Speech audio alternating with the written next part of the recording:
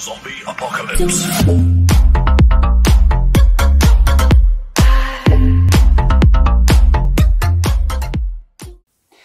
Okay, so before we get into the unboxing, I just want to say that this video is not sponsored. I did go out and purchase this drone with my own money. It is something that I've wanted for some time. Um, and I did realize there are two versions of this drone when you go to purchase. Uh, the first one is what I currently have, which is just the drone and the controller.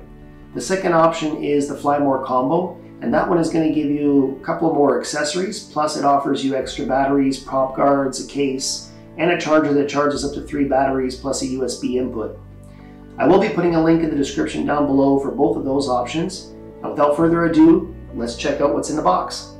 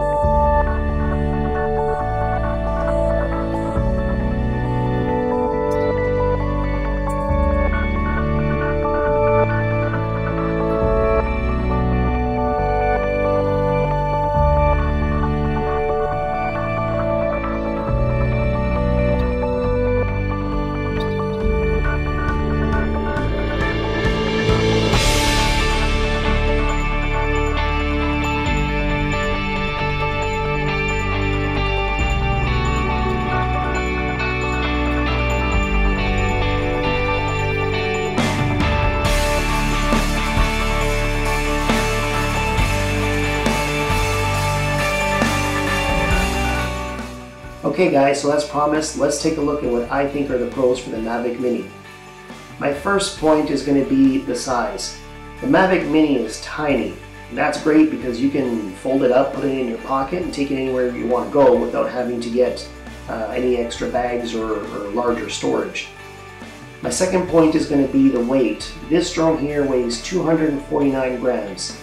I live in Canada and I have done the basic certification and registered both of my other drones, which is the Air and the Phantom. This drone being 249 grams, I don't have to register it. Uh, and the biggest benefit is if I do travel to another country where the rules apply and I would have to register over 250 grams, this avoids me having to do more paperwork or another test or, or having to deal with something else uh, once I go to another country. My third point is the the uh, noise on the propellers. Uh, this drone here is very quiet if I compare it to the next drone up, which would probably be the Mavic Air, uh, at least the, the original Mavic Air. That one sounded very high pitched, sounded like a, a swarm of bees were, were flying around you. This one here is a lot better on the ears, it's, it's not as noticeable, um, and I mean, it's, it's not as intrusive around other people. My next point is the application. DJI has created a new app for the Mini and for the Mavic Air 2, uh, which is the Fly app. Now the Fly app has a bunch of new features and from what I've seen, they've been developing and, and implementing new features as time goes on, which is great. Um, the next point I want to make is the manual controls for the white balance, ISO, and shutter. Now, when the Mini was first released, it didn't have those options. Uh, there was a firmware update recently that gave the Mini the ability to control the ISO, the shutter, and the white balance. Uh, this is great for anybody who wants more professional looking video, uh, have more control over what they're doing. Plus, if you use ND filters, that's going to help you out a lot.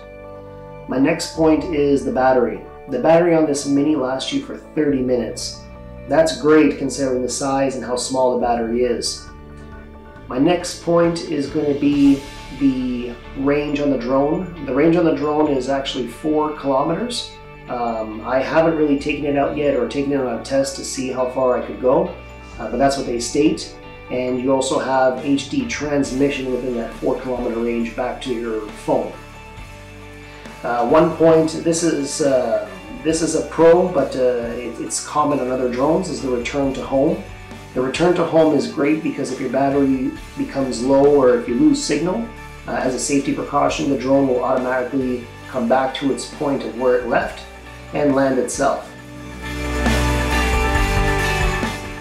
Okay, we know the drone has a lot of pros, but what are the cons? Well, my first con for this drone is the lack of sensors. This drone here in particular only has one sensor located on the bottom and that's to help the drone automatically land. Why is that a con for me? Well, the sensors on the drone are usually meant for the drone to avoid obstacles and any kind of collision. So for somebody who might be interested in a low budgeted drone um, or most beginners that would be picking up a drone for the first time, uh, the sensors would be important, at least to give them a sense of security as they fly. The second con that I have is the lack of active track. Now active track is a feature um, on the drone that allows the drone to pick an object or person um, and while they do their activity it's going to automatically follow that person without hitting any obstacles or any having any collisions. Now I have a feeling this drone does not have the active track because it has the lack of sensors. Um, and that may just be due to the fact that the company may want to keep the weight of the drone below 249 grams. So that's one feature again that I know some people really do like. Uh, in this drone, it obviously doesn't have it. My next con is going to be no 4K video. For me, I'm okay with shooting at the 2.7K. I think the video still comes out fantastic, um, but for some people it may be a deal breaker. And the last con that I have is the connection. So the connection between the controller and the drone is a Wi-Fi connection. Um, if you live in a more dense city or populated area, you may notice that the connection may not be as strong or you may have spotty connection throughout. Okay guys, so that brings us to the end of the video. I hope it was informative and I hope you guys learned something from it. As always, if you like what you see, don't forget to hit that like down below. And also don't forget to subscribe and hit that uh, notification bell so you guys are alerted of upcoming videos.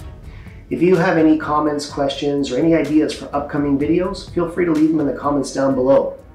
Hope you have a great day, and we'll see you in the next one.